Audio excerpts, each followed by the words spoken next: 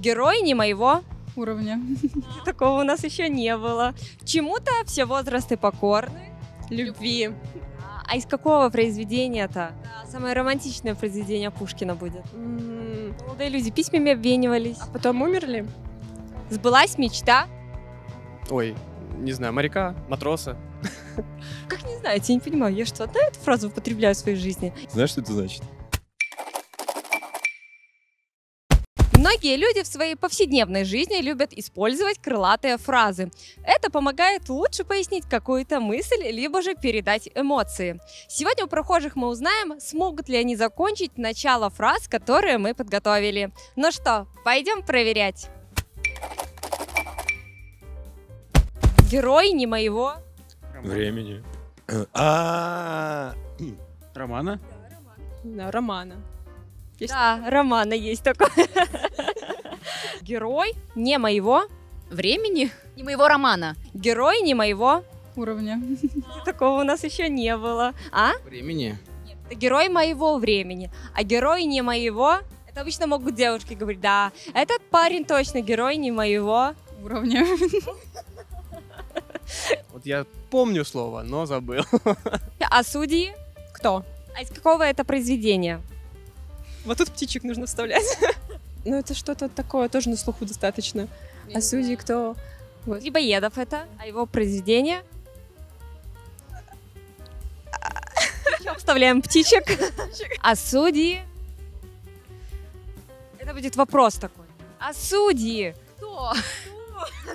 А судьи-то кто? Следующая. А судьи? Кто? А судьи? Кто? А судьи? Кто? Чему-то все возрасты покорны.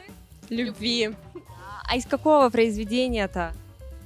Это Пушкин. М, Капитанская дочка. Нет, это самое романтичное произведение Пушкина будет. М, Молодые люди письмами обменивались. А потом умерли? Другое? Евгений Онегин. Евгений Онегин. Чему-то все возрасты покорны. Любви все возрасты покорны. А может, знаете, откуда это? Чему все возрасты покорны? Любви. Чему все возрасты покорны? Любви. Чему-то там все возрасты покорны. Любви. С корабля? На бал. А, откуда это? Это опять Пушкин, это опять Евгения Онегина. с корабля? На бал. А с корабля на... Плод. Бал. Нет. Я не знаю. С корабля на бал. С корабля на плот, кстати, тоже интересно. С корабля на... Бал. Корабля на... Бал. Сбылась мечта. Детство. М-м. Сбылась мечта кого? Ну, глупого человека, скажем так. Дурачка? Сбылась мечта. Идиота. А чего вы так не скромно? Скажите, а может что-то употребляете в своей речи? Конечно, любви все возрасты покорны. Сбылась мечта идиота. Это любимые фразы. Сбылась мечта.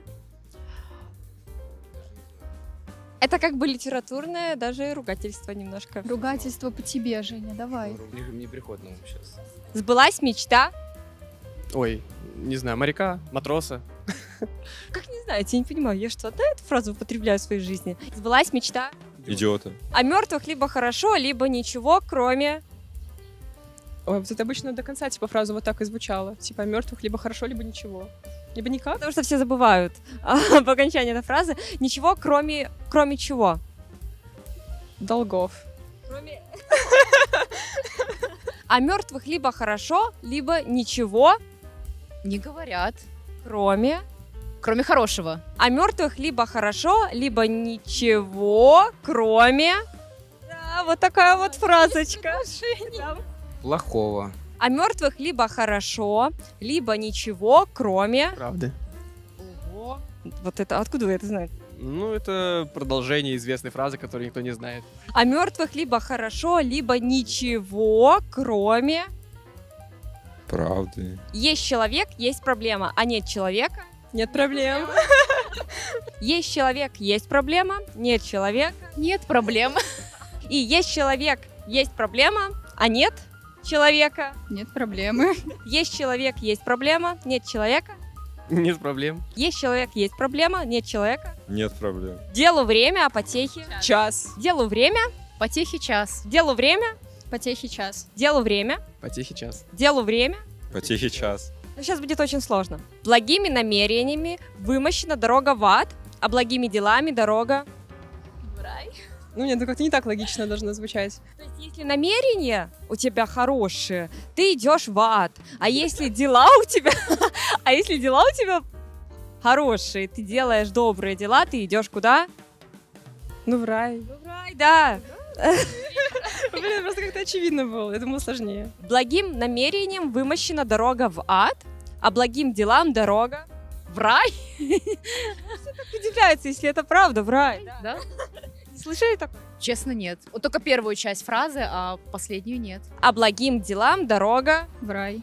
благим намерением вымощена дорога в ад, а благим делам Ну, не должно быть, наверное, сильно логично. То, что в рай. В рай? В рай? Слышали такое? Нет, нет, не слышали. И сейчас такая сложная будет. Благим намерением вымощена дорога в ад, а благим делам... В рай. Какая любимая крылатая фраза, может, у вас, которую вы в жизни используете? Не все коту масленица. В какой ситуации последней использовали это слово? Э, ме- Месяц назад я, короче, пытался понять, что это вообще, и очень смеялся над этой фразой. Что за фраза? Вы только не... Она такая, она очень абстрактная, она мне очень нравится. Знаешь, что это значит? Даже, ну, только предположить могу на самом деле. Ну, хорошо, скажите, а что она значит? А, не может быть всегда хорошо, вот так вот, типа. Какую фразу больше всего может употреблять в своей жизни, в, в- в разговоре? Гори сарай, гори хат. Ну, Это, кстати, надо взять. Нам, кстати, новую фразу подсказали, вот там ребята пока были, и мы тоже решили ее включить, поэтому она будет первой. Итак, первая фраза «Гори сарай», Офигенная фраза. Спасибо. Несите ведра. а «Гори сарай, гори». И хата. А вы пишите в комментариях, какую фразу используете чаще всего, и смотрите наше следующее видео. Всем пока!